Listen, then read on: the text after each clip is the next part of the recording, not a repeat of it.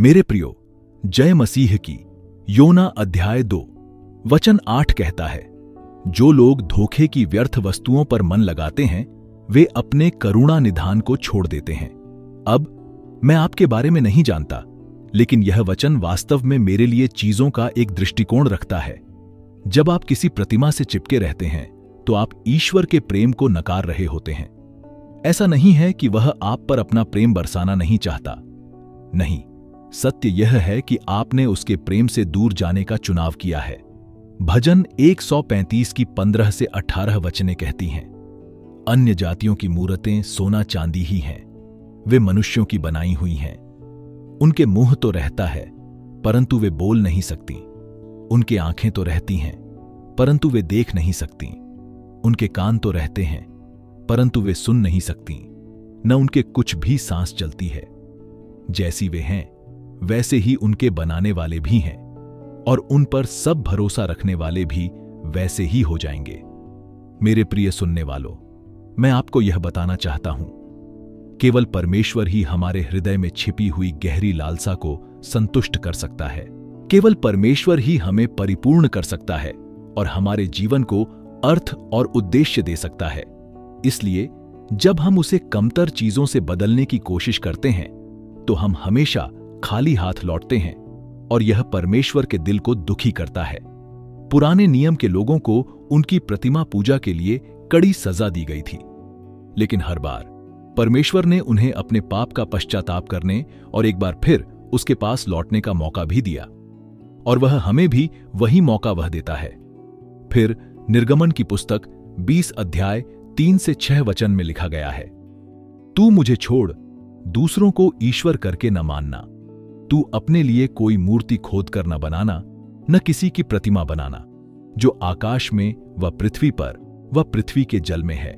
तू उनको दंडवत न करना और न उनकी उपासना करना, क्योंकि मैं तेरा परमेश्वर यहोवा जलन रखने वाला ईश्वर हूँ, और जो मुझसे बैर रखते हैं, उनके बेटों, पोतों और परपोतों को भी पितरों का दंड दिया करता हूँ, और जो मुझसे प्रेम रखते और मेरी आज्ञाओं को मानते हैं उन हज़ारों पर करुणा किया करता हूँ।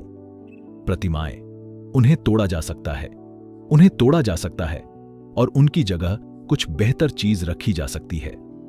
जीवित परमेश्वर की सच्ची आराधना। इसीलिए आज मैं आपको अपने जीवन में प्रतिमाओं को तोड़ने के लिए प्रोत्साहित करता हूँ। अब कोई प्रतिमा न हो, न ही धन की प्रतिमाएँ, न ही रिश्तों की प्रतिमाएँ, न ही सांसारिक शक्ति की प्रतिमाएँ।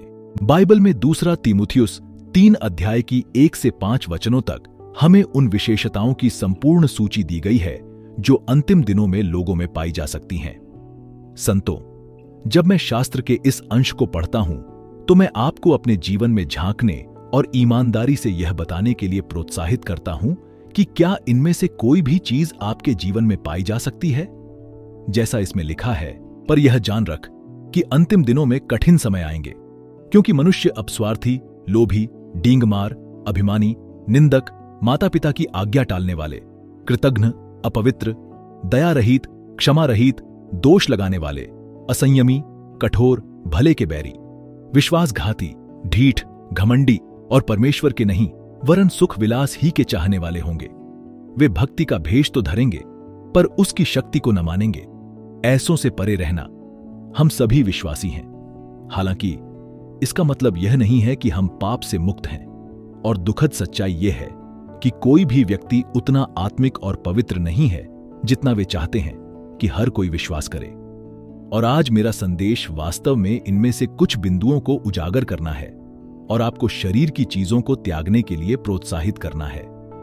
हमने अभी दूसरे तिमुथियुस, अध्याय तीन में जो सूची पढ़ी है, उसमें से कुछ बातें उभर कर आती हैं।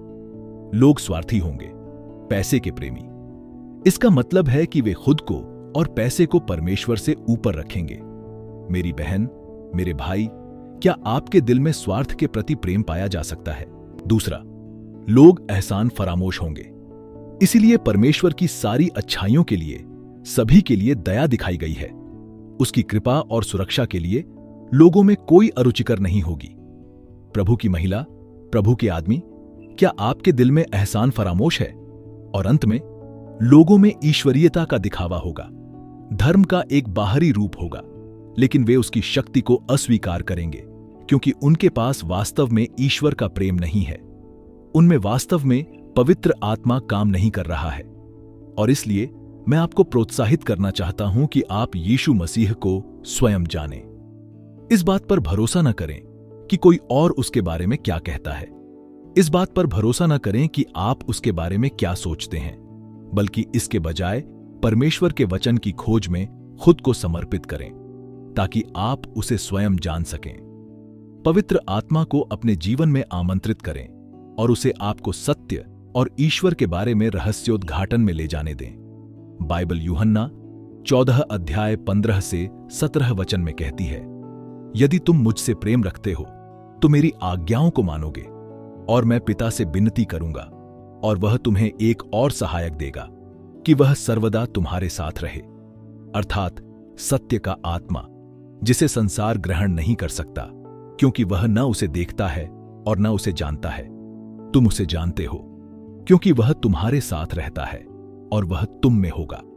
जब आप परमेश्वर के प्रेम को, उसके दिव्य, सच्चे और शाश्वत प्रेम को पहचानेंगे, और उसका अनुभव करेंगे तो आप स्वार्थी या धन के प्रेमी नहीं रहेंगे, क्योंकि ऐसा कोई तरीका नहीं है जिससे आप परमेश्वर से मिल सकें और वैसे ही बने रहें। हमारे सर्वशक्तिमान परमेश्वर यहोवा का प्रेम अनुग्रह से पहचाना जाता है। क्षमा, दया, वह एक ऐसा परमेश्वर है जो हमेशा आपकी रक्षा करता है। एक ऐसा परमेश्वर जो हमेशा आपकी जरूरतें पूरी करता है और एक ऐसा परमेश्वर जो पश्चाताप करने वालों पर दया करता है। आप ऐसे परमेश्वर के प्रति कैसे आभारी नहीं हो सकते और अंत में अपने जीवन और अपने दिल में पवित्र आत्मा के लिए जगह बनाएँ। वह आपके जीवन में एक नवीनीकरण, एक परिवर्तन लाएगा, जो आपके दिल से शुरू होता है। इस तरह आप सभी झूठे दिखावों और धार्मिकता से छुटकारा पालेंगे, क्योंकि आप वास्तव में यीशु मसीह को जान जाएँगे। आए अब हम सब मिलकर परमेश्वर के पास जाएँ और प्रार्थना करें। प्रिय पिता, आप मेरे हृदय के राजा हैं। आप मेरे उद्धार करता हैं, प्रभु यीशु। मैं आपकी इतनी गहरी, अलौकिक प्रेम के लिए प्रशंसा करता हूँ, जिसका मैं कभी भी उधार नहीं चुका सकता। सर्वशक्तिमान परमेश्वर, आपका प्रेम कितना महान है। हमने आपके प्रेम के लायक कुछ भी नहीं किया, लेकिन फिर भी आपने अपने बेटे को स्वतंत्र रूप से दे दिया, ताकि हम नाश न हों। मैं अभी सुनने वाले सभी लोगों के साथ सहमति में प्रार्थना करता हूँ। प्रभु यीशु हमारे चरित्र को बदल दें।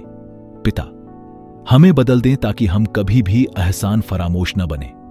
मैं प्रार्थना करता हूँ कि मैं कभी भी स्वार्थी या धन का प्रेमी न बनूं, बल्कि इसके बजाय आप हमेशा मेरे जीवन का मुख्य प्रेम बने। प्रभु, मुझे अपनी पवित्र आत्मा से भर दें, ताकि मैं कभी भी ईश्वरीयता का दिखावा करके या उसकी शक्ति को नकार कर खुद को या किसी और को धोखा न दूँ। इसके बजाय, मैं पवित्र आत्मा द्वारा मौलिक रूप से रूपांतरित होना चाहता हूँ। वह मेरे भीतर काम करे और मुझे ढाले और आकार दे एक ऐसा विश्वासी बनने के लिए जिससे आप प्रसन्न होते हैं। प्रभु, मेरे हृदय की खोज करें, मेरे उद्देश्यों और मेरे इरादों की खोज करें। हे प्रभु, मुझे जांचें और मेरे जीवन से सभी अधार्मिक गुणों और आदतों को हटा दें। आप एक ऐसे परमेश्वर हैं जो सब कुछ जानते हैं। आप सब कुछ देखते हैं। प्रकाश में जो कुछ भी किया जाता है और अंधकार में सभी कर्म और विचार और मेरे सबसे शर्मनाक रहस्यों को जानने के बावजूद, परमेश्वर, मैं आभारी हूँ कि आपने अभी भी मुझे अपना संपूर्ण प्रेम प्रदान करने का फैसला किया है।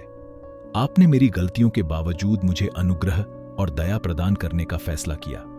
आपने मुझे अपनी शक्तिशाली प्रेम दिखाने का फैसला किया। हालाँकि आप मुझे अंदर से जानते हैं और आप जानते हैं कि मैं कहाँ कम पड़ जाता हूँ। मेरी मदद करें, पवित्र आत्मा, ताकि मैं कभी भी परमेश्वर के अचूक प्रेम से अनजान न रहूँ। ऐसे प्रेम के लिए कभी भी एहसान फरामोश ना होने में मेरी मदद करें।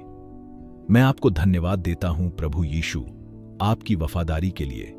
यहाँ तक कि कठिन समय में भी सिर्फ़ आपकी ही महिमा हो। परमेश्वर आप मेरे निरंतर मित्र हैं और मेरी घर के आसपास आपकी उपस्थिति हो और पूरे दिन मेरे साथ रहे और रात में यह मुझे ढंके।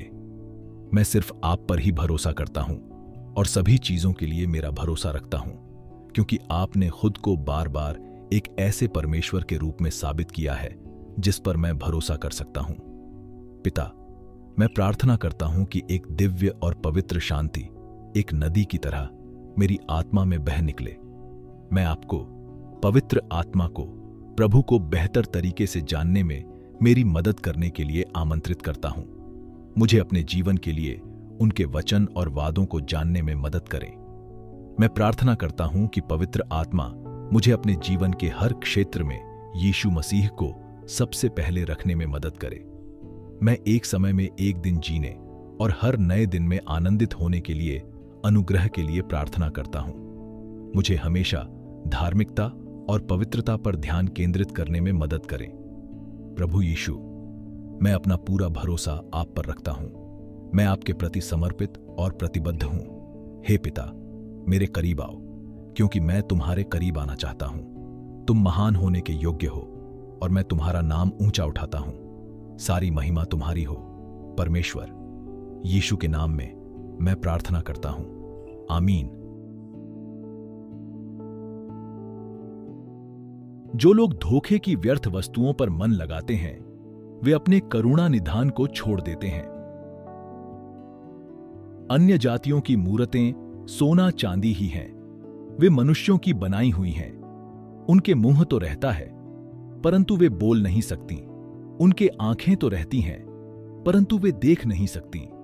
उनके कान तो रहते हैं, परंतु वे सुन नहीं सकती, न उनके कुछ भी सांस चलती है। जैसी वे हैं, वैसे ही उनके बनाने वाले भी हैं, और उन पर सब भरोसा रखने वाले भी वैसे ही हो जाएँगे। तू मुझे छोड़, दूसरों को ईश्वर करके न मानना। तू अपने लिए कोई मूर्ति खोद कर न बनाना, न किसी की प्रतिमा बनाना, जो आकाश में, व पृथ्वी पर, व पृथ्वी के जल में है। तू उनको दंडवत न करना। और न उनकी उपासना करना, क्योंकि मैं तेरा परमेश्वर यहोवा जलन रखने वाला ईश्वर हूँ, और जो मुझसे बैर रखते हैं, उनके बेटों, पोतों और परपोतों को भी पितरों का दंड दिया करता हूँ, और जो मुझसे प्रेम रखते और मेरी आज्ञाओं को मानते हैं, उन हज़ारों पर करुणा किया करता हूँ।